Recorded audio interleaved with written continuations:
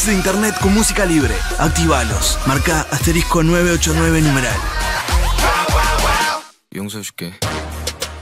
Además, WhatsApp gratis. El contacto es con la médica psiquiatra, la doctora Amelia Miller, especialista además en, psiquiatría infantil. Yo le agradezco profundamente este rato para, para poder charlar un poco y que nos pueda orientar sobre lo que es de alguna forma, de alguna manera, todo este famoso tema de la salud mental, este, seguramente la calidad de los vínculos que se tienen que, generar para, para tener la mejor salud posible, la importancia de la mente en nuestro cuerpo, pero además la quiero presentar de otra manera, de una manera, este, yo diría, más afectuosa. Porque hace un ratito mirando su Instagram dice viajera de a caballo, exploradora cultural, psiquiatra infantil, humilde y cuidadora del planeta. Doctora, gracias por estar y compartir este rato. Bienvenida, ¿cómo le va? Ah, ¿Qué tal? Mucho gusto, encantada, encantada de poder colaborar en algo, este, en lo que es su programa y, todo sea por la salud mental de nuestra población, que es lo, más importante que tenemos para mí.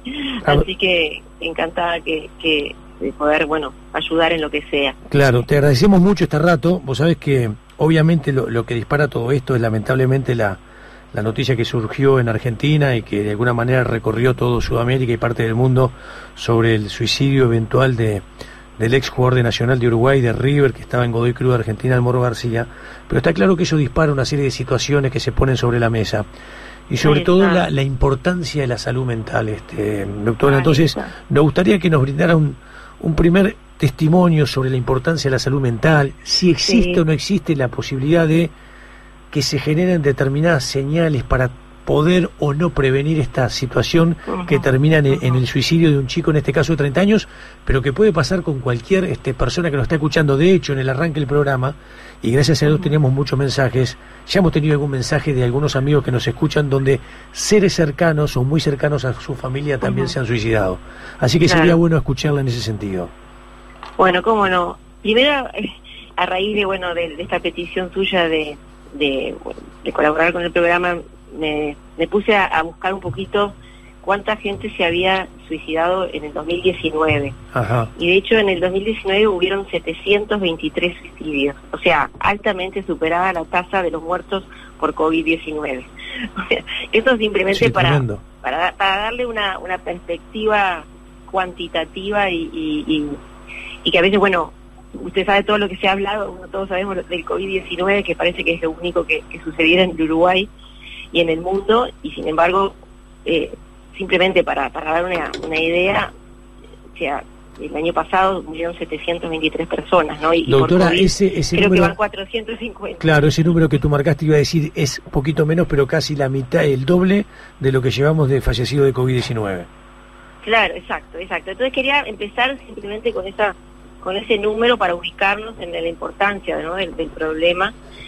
el punto es que, claro, como eh, es un problema del cual se habla poco, en realidad, en parte, bueno, ustedes saben que los informativos eh, tienen prohibido eh, dar ese tipo de noticia, en parte sostenido en la idea de que si uno comen, o sea, promueve, no, no, sé si promueve, pero comunica, ¿verdad? Esas noticias van a haber más personas que se pueden identificar con esa forma de solucionar la vida, ¿no? Claro. Que, y haya como una especie de contagio, ¿no? Porque siempre nosotros tenemos modelos, ¿verdad? Y construimos la realidad en base a, las cosas que vemos, o, y bueno, puede ser una, una manera como de alentar a esas personas que están por tomar la decisión, hacerlo al ver que otros lo hacen, ¿no? O sea, en parte ese es, es el motivo por el cual no no se comunica ni se habla tanto del tema. Pero lo cierto que es un tema, es el tema que a los psiquiatras por lo menos más nos preocupa, es la única urgencia, emergencia real que tenemos los psiquiatras, o sea que siempre estamos, siempre que ingresamos un paciente estamos muy alertas en ese sentido, ¿no? Porque, eh, como decíamos, es mucho más frecuente de lo que parece. La primera cosa que hay que tener en cuenta, creo yo, y, que está más que comprobado, es que hay una eh, factor de riesgo, digamos, el primer factor de riesgo por unanimidad y en todos los países es la genética, ¿no? Los antecedentes familiares. Como, como tú bien decías, todos a veces conocemos a alguien en la familia, bueno, eso eso aumenta el riesgo. No quiere decir que, en la familia, bueno, por ese motivo uno se vaya a suicidar, pero hay como una una fragilidad, una vulnerabilidad. Una, cierta predisposición, digamos. Una cierta predisposición, exactamente. Hay una cierta predisposición que va en, los genes, ¿no? Y que sumado a eventos vitales o situaciones, circunstancias de la vida pueden hacer que eh, ese riesgo se aumente. Eh, eso, este, por un, por un lado. Otro dato interesante epidemiológico y también a, nivel mundial es que son, como yo te decía ayer, son más los hombres los que se suicidan que las mujeres. De hecho, en, un estudio que se hizo hace poco en Uruguay, que fue dirigido por el doctor Federico Dajas, está en internet, por, si lo quieren ver, es un estudio de cuatro años, el 80% de las personas que se suicidaron no son hombres o sea, frente al 20% de mujeres. E-, eso, se debe a alguna situación puntual, concreta, doctora? Eso sí, creo que tiene que ver con que el hombre, eh, si se quiere, es como, no sé si más violento o más impulsivo a veces, o más de tomar acción, y la mujer a veces eh, por ahí este, se, se apoya más en el lenguaje, en la comunicación. se comunica más verbalmente que el hombre. De hecho, tiene más desarrollado el área del lenguaje la mujer que el hombre, ¿no?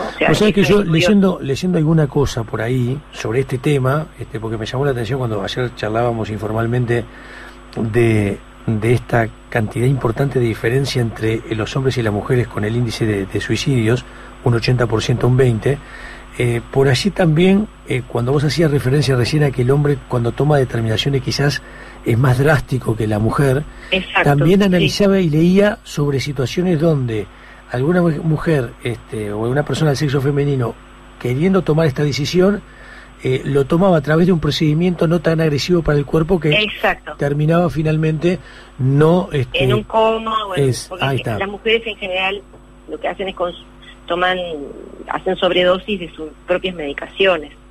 Generalmente son pacientes que ya están medicados, porque ya tienen, bueno, han consultado, un psiquiatra y tienen su medicación y eh, en un momento de, una situación particular, algún estrés vital, deciden, bueno, tomarse todo el blister o todo lo que tienen a mano en realidad, ¿no? O sea, bueno, e, eso es son datos que, son interesantes de, conocer. Digo, el, los estudios dice que el, hay un índice de prevalencia entre las séptima y octava década de la vida. O sea que en realidad es cuando, a mí eso me, hace pensar en que ahí son momentos en donde uno a veces puede, el, ser humano pierde el sentido de la vida, ¿no? Porque de las cosas que uno pregunta en una entrevista con un paciente que uno necesita, bueno, evaluar el riesgo que tiene esa persona de suicidarse, es en parte el sentido de la vida, ¿no? O sea, qué sentido tiene su vida ahora, qué proyectos tiene, cómo ve, cuál es la visión de futuro. Claro. ¿No? Porque un rasgo muy característico es que no tiene mucha visión de futuro. No hay como una pérdida de ellos para adelante no ven como hay una desesperanza, esa sería la palabra. Claro, desesperanza. Si bien no todo es así, porque eso es lo confuso del suicida, porque hay por ejemplo, otras patologías psiquiátricas, como la esquizofrenia o como el trastorno bipolar, en donde justamente en eh, el, trastorno bipolar es, un trastorno donde si bien hay depresión, también hay el otro polo, por eso se llama bipolar, el otro polo de la depresión que es la manía, la euforia, el pasarse de rosca, como eh, y en esa pasada de rosca está, están, hay, hay elementos depresivos, o sea, hay un, estado de ánimo en menos, pero que rápidamente cambian a, de la manía a la depresión a veces. en, en muy poquito tiempo, entonces tienen toda la energía, la, estar pasado de rosca, como dicen ahora, toda la energía de la manía, pero con el estado de ánimo en menos, o sea, con la, tristeza o la depresión. Entonces, esa combinación a veces hace que, que bueno, que se lleve a, ese tipo de acto. Sumado a que muchas veces se consumen sustancias, ¿no? Este, los pacientes con trastornos del humor o con trastornos de ansiedad eh, buscan soluciones a través de, del consumo. Y el consumo también complica el cuadro porque altera la percepción de sí mismos y de la realidad, del mundo que los rodea. Entonces, eso los lleva también a este tipo de decisiones. Doctora, la consulta, ¿cuánto, cuánto influye el tema de, de, los vínculos, las formas y las maneras con quien nos vinculamos? este ¿Y cuán intenso pueden ser o no esos eso vínculos? influye muchísimo, muchísimo. Yo siempre digo, la calidad de la salud mental se mide con la calidad de los vínculos. Esa es una frase mía. No la estoy en ningún lado, pero es fruto de 20 años de experiencia de trabajar con, familias, con niños, con, adolescentes. los vínculos son importantes desde el inicio, empezando por el vínculo de apego, que es el vínculo con la mamá, del, bebé con su mamá. Ya eso es como lo que hace como genera lo que se llama la matriz o, determina muchísimo después en los primeros cinco años de vida determinan muchísimo el, lo que va a ser la capacidad de ese individuo en manejar el estrés, en regular sus emociones en general, ¿no? O sea, es como eh, un modelo o un molde a partir del cual, un capital, digamos, que uno tiene a partir del cual uno se va a manejar después en la vida. Claro, Lo que tiene que ver con la regulación emocional y el manejo del estrés muchísimo. Muchísimo. Por algo se habla de, perdón, si me deja hablar, sigo. No, no, no, tranquilo, no, ¿sabes lo que te quería consultar? Porque tengo entendido que tú tienes un, un proyecto, ¿verdad? O has tenido o trabajado fuerte sobre un proyecto de salud mental que busca fortalecer los, los vínculos a través de actividades recreativas? En realidad es un proyecto que tengo que todavía no lo he concretado, que es un proyecto que, que busca justamente eso, eh, a través de actividades, proponerle actividades a las familias que busquen eh, fortalecer esos vínculos. Pero son actividades que no necesariamente tienen mucho que ver con hablar de, la, de uno mismo, sino realizar actividades que, son más recreativas, creativas y recreativas, como yo creo que busquen a través, que uno lo hace naturalmente, pero algunas familias, debido al alto índice de conflictividad que tienen, no, o porque están desbordados por muchas situaciones, no se dan espacio, lugar para realizarlas, que puede ser de, como decía, desde un paseo en kayak, como hice yo, el fin de semana, claro, bueno, muchísimas, cocinar juntos, qué sé yo muchísimas cosas. Bien, bien. Eh. Eh, la idea es, está claro, buscarle la vuelta, generar los mejores vínculos, tener el mejor contexto, el mejor entorno.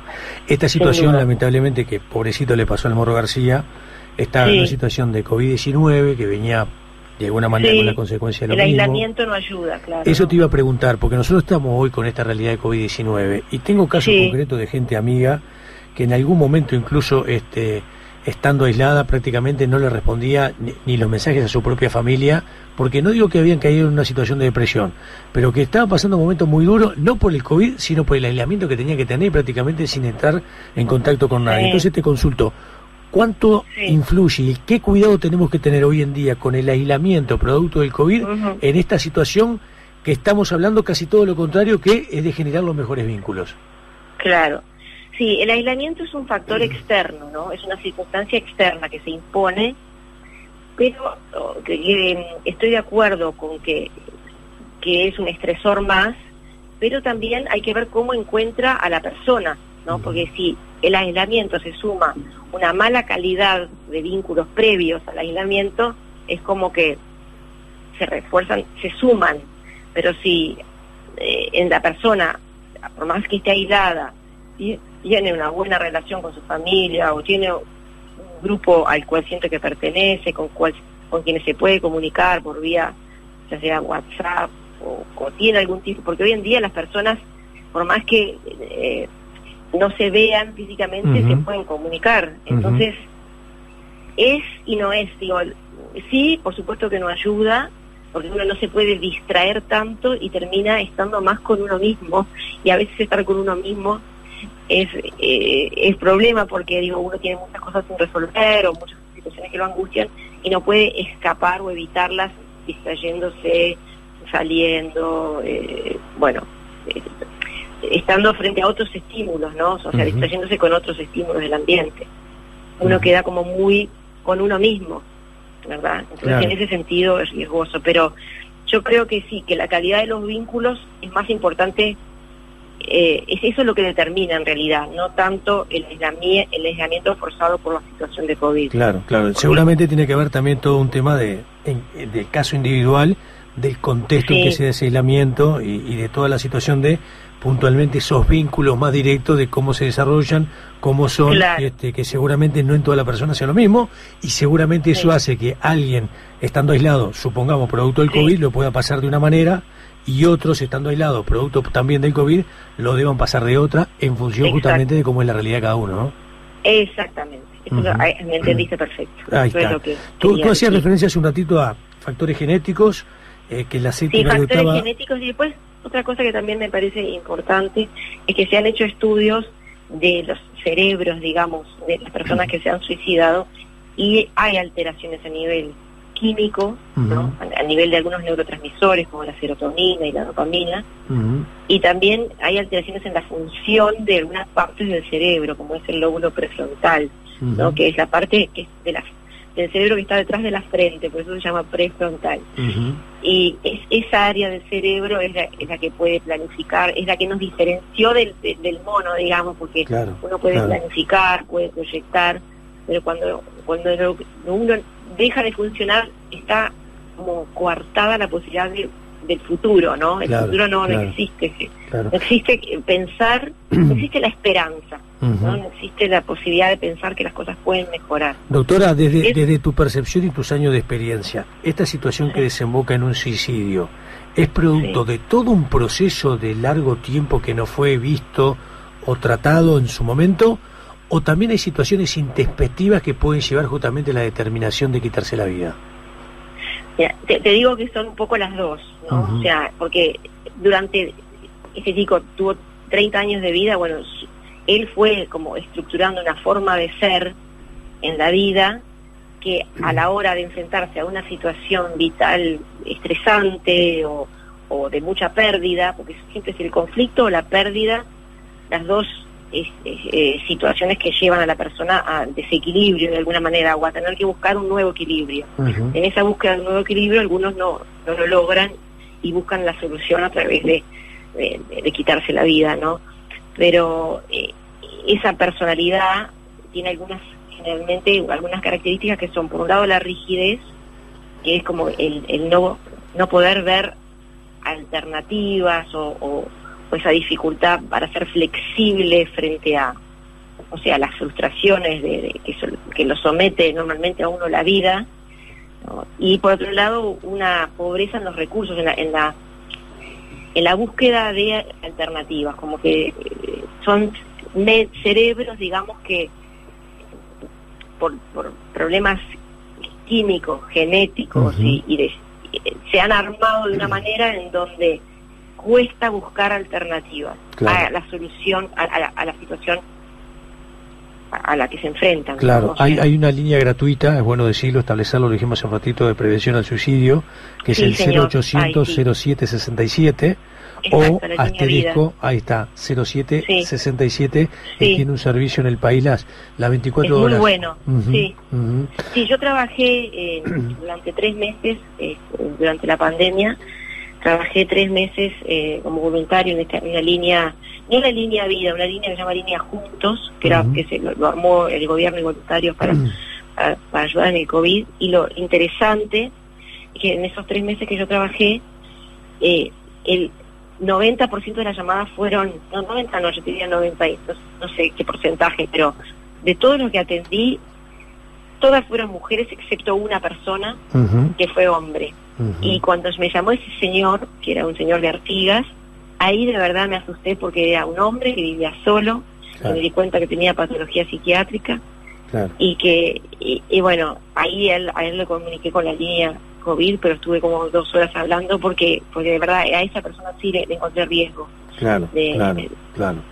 Eh, doctora, te consulto algo, a ver, esto es más, eh, los seres humanos, eh, por, por este, digamos, tema que estamos hablando, eh, por los procesos que vamos generando, aquellos que transitan la vida normalmente, sin en principio ningún tipo de problema, inconveniente, y que terminan luego falleciendo producto de este, los años que cada uno va teniendo, porque esto es un ciclo de vida que en algún momento finaliza.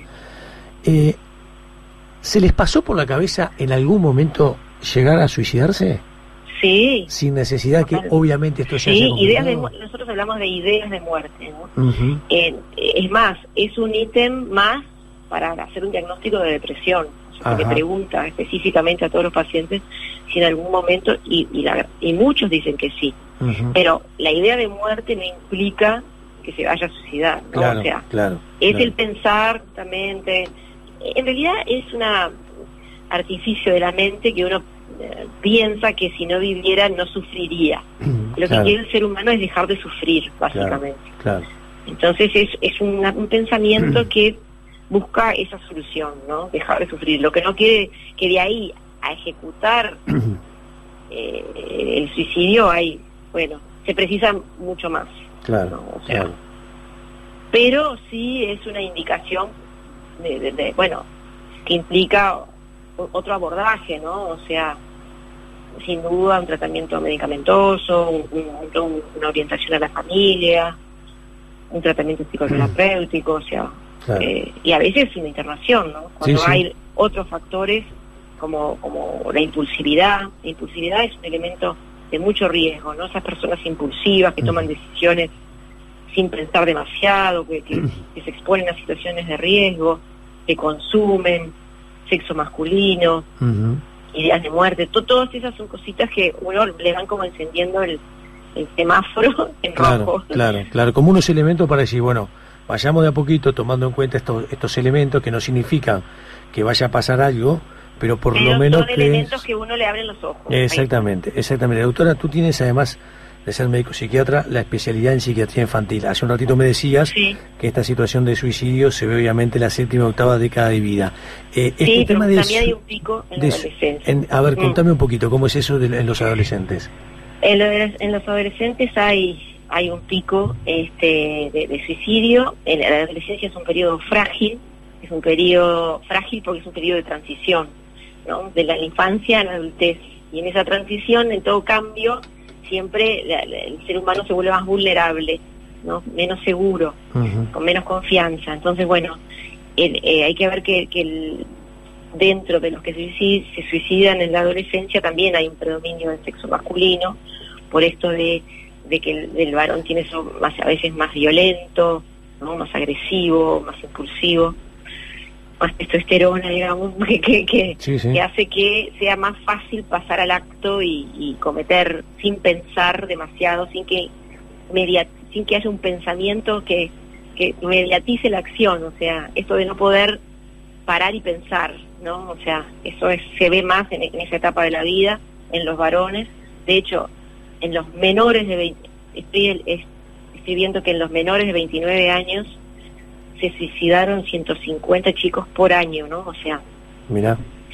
Entonces, eh, eso, es, también es, un, es, un, signo de algo, ¿no? quiere decir quiere decir que es una edad en donde sí, por la circunstancia vital, cuando se suman, ¿no? La circunstancia vital, la genética, eh, la edad, la etapa en, el ciclo de la vida, eh, alguna frustración, bueno, este, se, llega a, esto. o, sea, todos conocemos gente que se ha suicidado, o sea que es bastante más, más, frecuente de lo que uno parece. Está muy bien, este, está muy bien. Eh, yo miraba acá este hace un, ratito, eh, viste cómo son el tema de las, de las redes sociales. Sí, claro. Te preguntaron en una entrevista, dice, algo que tienes que mejorar, dice, dijiste ser más disciplinada. La última vez que fuiste audaz andando a caballo en Kenia me caí, pero era la única posibilidad que tenía de seguir este de seguir haciendo lo que, que me gusta que es andar a caballo, así que me subí y seguí andando. Eh, está claro que, que, a ver, y lo sé yo por Marianés también, que tenés una característica, me dijeron que el fin de semana anduviste haciendo un poco de calle con, con tu pareja por, por la laguna del Sauce, así que tenés como un espíritu aventurero. Tengo espíritu aventurero, es la verdad. Y el contacto con la naturaleza seguramente sea de las cosas más recomendables. Sin duda. Eso es otro cable a tierra, diríamos, este, en, así para que todo el mundo entienda. Cable, la expresión cable a tierra me encanta porque la tierra tiene eso de como de conectarnos con, con un equilibrio, ¿no? Que es mayor, que es el equilibrio, el balance que, que uno ve ¿no? y percibe en, la, naturaleza. ¿no? este, la belleza la, eh, de la naturaleza tiene algo como relajante, sedativo y, de conexión con, algo divino, digo yo, porque, si bien bueno algunos pueden no creer en Dios o, eso es algo muy personal. Para mí en el, el orden de la naturaleza es un orden superior, sin duda, y, y que nos conecta con, con algo, no sé, más, más allá de nosotros Claro, mismos, o sea, claro. mayor que nosotros mismos. Claro, claro. Y de alguna manera también nos permite bajar un poco los, los decibeles de, de esta vida tan loca que, que llevamos habitualmente. Sí. Doctora, yo te agradezco este rato. En realidad queremos charlar contigo Bueno. para, para que nos digas un pantallazo, algunas señales de, de si se puede Sí, no bueno, diagnosticar, pero por lo menos prever una serie de situaciones previas para tratar de fundamentalmente prevenir. Y me parece que el mensaje, y me gustaría que tú lo dieras, sobre aquellas Sí. personas que nos están escuchando y por ahí son personas que están Sí. solas y sienten algo de alguna situación, que se comuniquen, que lo hablen, que lo transmitan con conocidos, Claro. con amigos, con familiares y que busquen ayuda. sin duda. Yo creo que el, el grupo, la familia y los amigos son los dos grupos humanos en donde eh, son como el lugar donde primero se puede detectar una situación de riesgo. Lo laboral podría ser también, pero en lo laboral generalmente el ser humano da una visión como no tan auténtica, no tan íntima de, uno mismo, ¿no? O sea, porque hay una competitividad, porque entonces a mí me parece que tanto la familia como los amigos es el, el lugar donde más rápidamente uno puede detectar una persona que está sufriendo básicamente Claro. y que tiene riesgo de llegar a esta solución, que no es una solución, pero pero es la solución que el, que el ser humano co- encontró en ese momento. ¿no? Doctora, Entonces yo sí. lo pri- no, Dime, perdón. dime, dime. No, no, dime. Entonces, lo primero que, que- que creo que hay que pensar es en el tema de la responsabilidad, definitiva por el cual yo estoy acá en este programa, la responsabilidad o la culpa también a veces que generan este tipo de, de hechos, ¿no? El entender que, que eh, no es culpa ni de la familia ni es culpa del chico, ¿no? O sea, creo que hay una situación que se da en donde por un lado hay factores biológicos, genéticos, que, que- que hacen vulnerable a la persona y, y, y de, de otro lado, por otro lado hay una situación vital en donde el entorno no pudo prever, Claro, es muy difícil claro, prever, claro. porque también el ser humano que se quiere suicidar, que de verdad se quiere suicidar, justamente lo que trata es de que nadie, nadie se dé cuenta, porque Claro, no quiere de verdad suicidarse Claro. a diferencia del que a veces intenta y, y da todas esas señales como una manera como de decir necesito, estoy sufriendo, necesito ayuda, ¿no? O sea, eh, esas son situaciones que son difíciles, que son para profesionales en realidad Ujú. eh, de, de- de detectar. Por eso yo creo que la primer eh, la primer recomendación es frente a la duda, frente a la duda de que una persona, viendo que una persona está sufriendo frente a la duda, ya sea porque hay antecedentes familiares, ya sea porque hay una conducta violenta, ya sea porque hay un consumo de sustancias, ya sea porque, bueno, hay una- un deterioro en, lo- en los vínculos, hay un aislamiento, como tú decís, frente a la duda, consultar. Y hoy, gracias a Dios, en este país se puede consultar en forma gratuita en muchos lugares. O sea que, porque son profesionales los que pueden de verdad discernir, discriminar, saber hasta cuándo esto es de riesgo y hasta cuándo Claro, no. claro. 0800 0767 la línea gratuita de prevención. Doctora, muchas gracias, sos muy gentil, muy amable. Sé que tenías tareas personales particulares, la dejaste a un lado por charlar con nosotros y lo valoramos mucho. Sos muy gentil. Bueno, espero que les haya servido. Beso grande, gracias por estar. Muy gentil, ¿eh?